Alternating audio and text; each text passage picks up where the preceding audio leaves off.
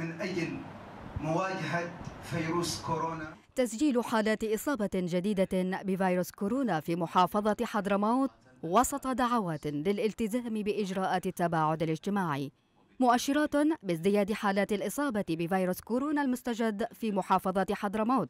مر حتى الآن شهر وثمانية عشر يوما منذ اكتشاف أول إصابة بهذا الفيروس في مدينة الشحر بساحل حضرموت لتكون أول إصابة بهذا الوباء في اليمن.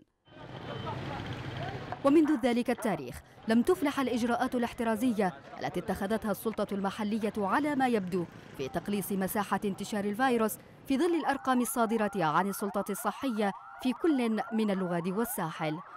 تشير أحداث البيانات الحكومية إلى وجود 73 إصابة و25 حالة وفاة وثمانية حالات تعاف على مستوى محافظة حضرموت.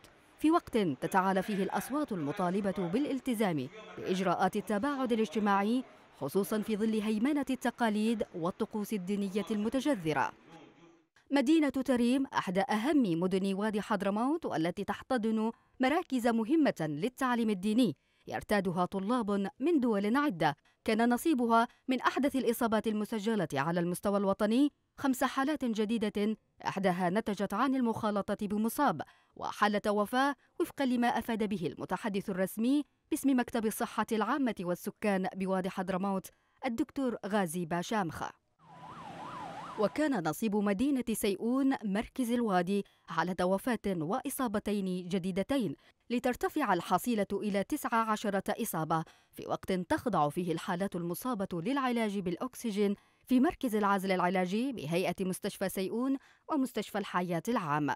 يخضع حاليا 182 مخالطا للحجر المنزلي يتركزون في مديرية سيئون وتريم وشبام حيث أثبتت نتائج الاتصالات الهاتفية والزيارات الميدانية لهؤلاء المخالطين أنهم بصحة جيدة ولم تظهر عليهم أي علامات أو أعراض.